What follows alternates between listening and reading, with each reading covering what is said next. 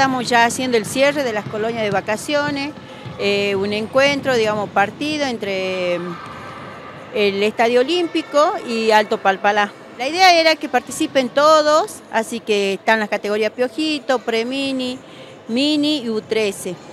A pesar del tiempo, bueno, da la posibilidad que se juegue acá en el estadio. Sí, a pesar del tiempo, bueno, este, nosotros tenemos esta, este, esta enorme cancha techada donde podemos seguir la actividad a pesar del tiempo y de la llovizna. ¿Cómo han sido las vacaciones? ¿Qué, qué puede destacar?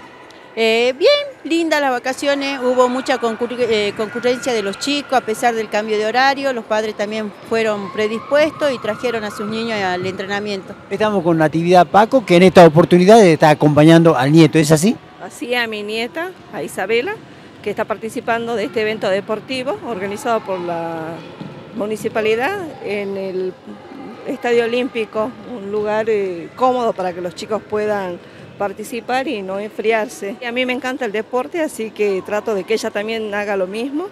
Y bueno, eh, ya que ella disfruta de esto, la acompañamos y espero que otros papás y, familiares también hagan lo mismo con sus nietos o con sus hijos. Estoy acompañando con los hijos, a mi hijito, y así que trato que participe, que estén los chicos acá, ya que por ahí no se puede por razones de trabajo irse a algún lado, y está muy bueno, viste, que se junten acá y tengan la actividad que les gustan hacer.